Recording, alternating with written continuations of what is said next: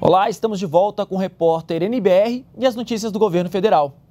Paulo Rabelo de Castro é o novo presidente do IBGE. A posse foi agora há pouco no Palácio do Planalto. Na cerimônia, Paulo Rabelo destacou a importância da instituição para o brasileiro.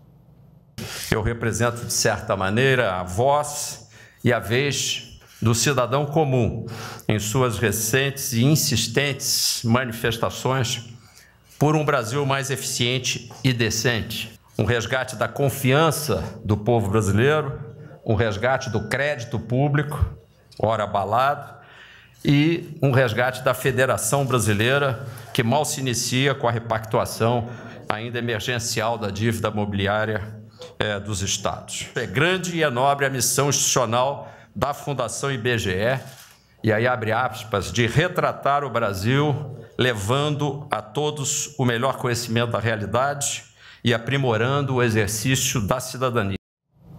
O governo decidiu liberar a importação de feijão para combater a alta no produto no, alta do produto no mercado. O ministro da Agricultura, Pecuária e Abastecimento disse que a ideia é aumentar a oferta do produto no país.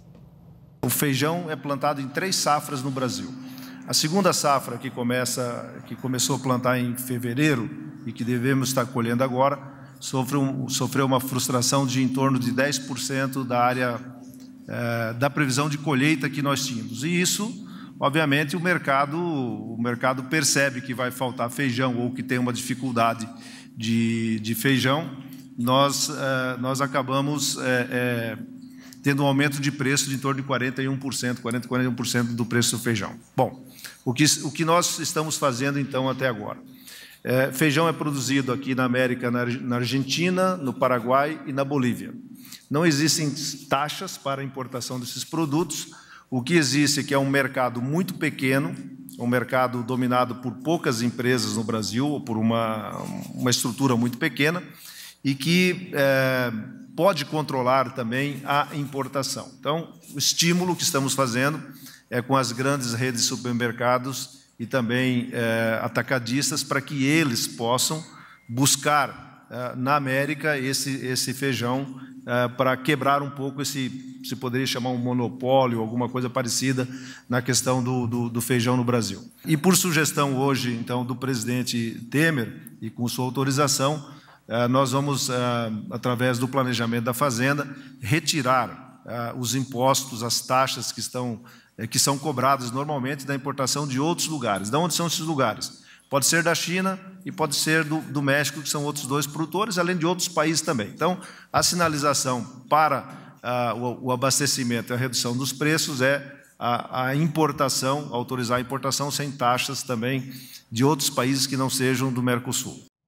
Já o ministro do Planejamento disse que a equipe econômica do governo vai apresentar uma proposta ao presidente em exercício Michel Temer para retomar a atividade econômica no país. São medidas, eu diria, de cunho mais regulatório, de cunho mais é, é, de criação de regras estáveis, regras estabilizadoras, que permitam uma maior é, competição nos mercados, mas, ao mesmo tempo, que tornem os investimentos mais seguros e tornem as decisões econômicas mais previsíveis, complementando uma, uma estratégia de política econômica que está desenhada né, não apenas para o curto prazo, mas também para trazer é, para o país uma perspectiva de médio e de longo prazo de retomada do crescimento e, portanto, de estabilização das variáveis macroeconômicas. Em uma semana, mais de 60 pessoas foram presas e 160 armas apreendidas nas regiões de fronteira do Brasil. Estes são alguns resultados da Operação Ágata. A ação das Forças Armadas, em conjunto com órgãos federais e estaduais, está na 11ª edição e, além da vigilância das fronteiras, leva também assistência médica e cidadania. De Roraima ao Rio Grande do Sul, são mais de 16 mil quilômetros de vigilância nas fronteiras para garantir a segurança da população. Criada em 2011 sob a coordenação do então vice-presidente Michel Temer, a Operação Ágata integra o Plano Estratégico de Fronteiras do governo federal e quer reprimir ações criminosas na divisa do Brasil com países sul-americanos. Até agora, 102 mil inspeções e vistorias em veículos já foram realizadas nas estradas. Também foram apreendidos explosivos, armas, munições e drogas. Além de coibir os ilícitos na fronteira, a Operação Ágata leva a populações mais isoladas atendimento médico, odontológico e atividades culturais. Desde o início da operação, já foram prestados mais de 31 mil procedimentos de prevenção à saúde.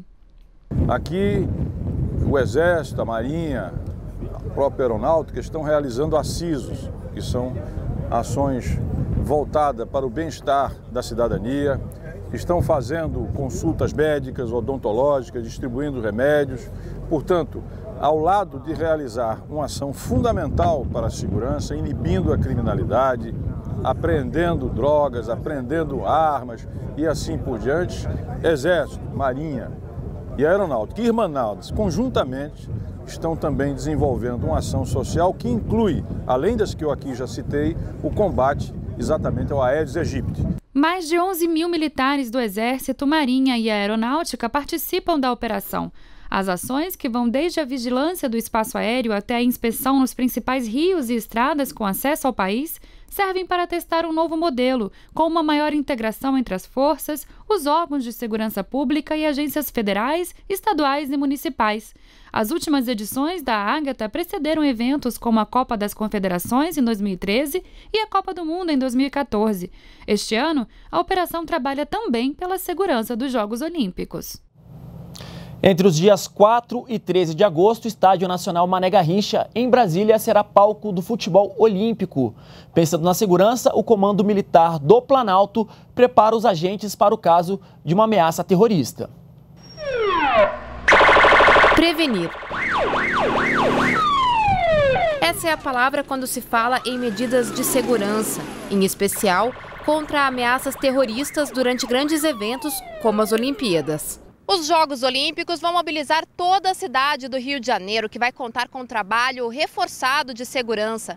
Mas as Olimpíadas não ficam só com os cariocas. Outras cinco cidades vão receber as partidas de futebol: Manaus, Salvador, Belo Horizonte, São Paulo e aqui em Brasília, no estádio Mané Garrincha. É por isso que a rede hoteleira e os lojistas já estão se preparando. Nesta terça-feira, um encontro realizado pelo Comando Militar do Planalto orientou os setores privados e públicos de Brasília sobre terrorismo e prevenção. Esses treinamentos que eles apresentam é de grande importância porque a gente tem um grande fluxo de, de hóspedes, né? Então é bom estar preparado para essas situações, né? Quando há alguma coisa suspeita, quando é algo que chame bastante atenção, a gente aciona a polícia. O coordenador da Agência Brasileira de Inteligência concorda que a atenção aos detalhes é chave para garantir a segurança de todos. A nossa preocupação com esse estágio é alertar para situações que que possam é, fugir do controle daqueles que são responsáveis pela segurança. Uma mala abandonada, um, um, uma pessoa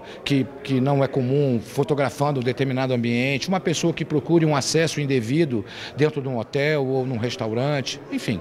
O envolvimento da sociedade, como uma maneira geral, no enfrentamento ao terrorismo, fortalece o nosso sistema de alerta nacional. Para o general Leme, o Brasil está preparado. Toda a nossa estrutura todos os eixos envolvidos, e eu ressalto e lembro a nossa inteligência, o eixo defesa e o eixo de segurança pública trabalham de forma integrada. Tá? E desde o início, essa integração nos permite dar todas as respostas necessárias para a solução do problema. Segurança garantida. E nós ficamos por aqui, voltamos a qualquer momento ou às 5 da tarde com outras informações do governo federal. Acompanhe também as novidades em nossas redes sociais. Continue com a gente aqui na NBR a TV do governo federal.